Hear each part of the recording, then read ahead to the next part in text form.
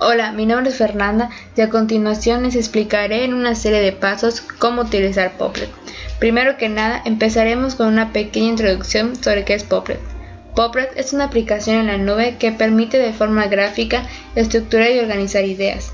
Con Poplet dispones de la posibilidad de crear mapas mentales, conceptuales, etc., que le es muy útil para estudiantes y profesores, ya que es una manera más didáctica para realizar trabajos. Bueno, el primer paso es abrir el navegador de tu preferencia. En este caso yo usaré Google Chrome. Posteriormente abrir el sitio web poplet.com.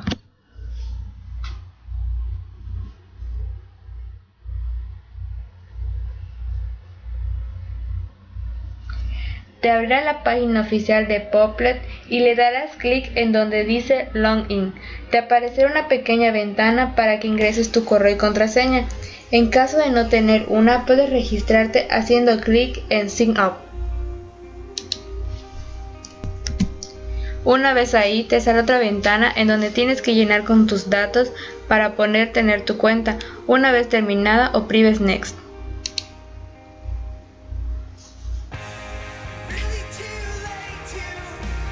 Te aparecerá para elegir qué tipo de plan deseas adquirir. Puedes e-, elegir el que es gratuito o de igual manera el de 3 dólares al mes o 30 dólares al año, según sea el que prefieras. En este caso yo escogeré el gratuito.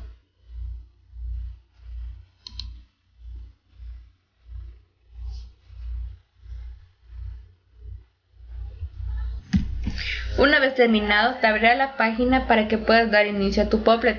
Le das clic en hacer Poplet nuevo. Ahora podrás poner el nombre al poplet que realizarás. Yo le pondré la tecnología. Y de igual manera podrás elegir el color de tu fondo. Al concluir ese, oprimes la opción de Make It So.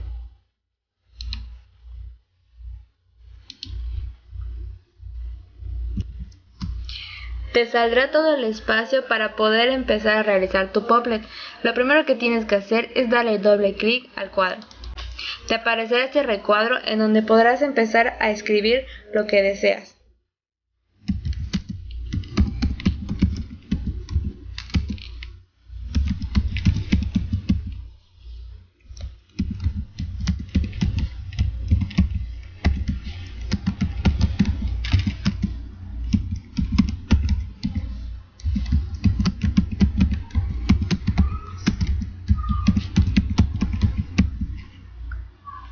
De igual manera, puedes ir intercalando cada cuadro. Puedes cambiar el color a tus recuadros dándole clic a este icono.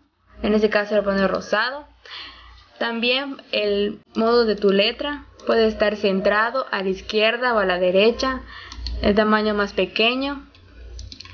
Puedes ir agregando imágenes de tu PC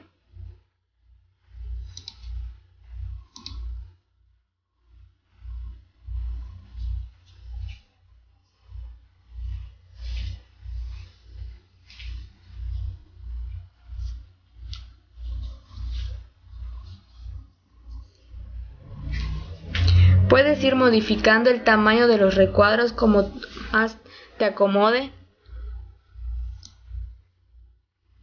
Estas bolitas te van a servir para enlazar cada uno de tus recuadros según sea el orden. También puedes ir agregándole videos desde YouTube. Con solo ponerle el, el, el link o bien si te aparece aquí solo lo arrastras y lo vas acomodando según sea el caso.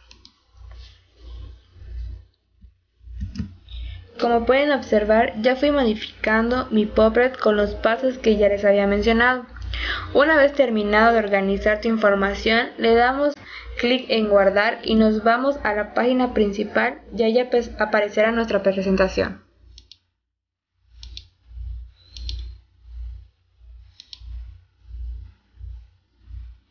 Como pueden observar, aquí está la presentación que anteriormente habíamos realizado.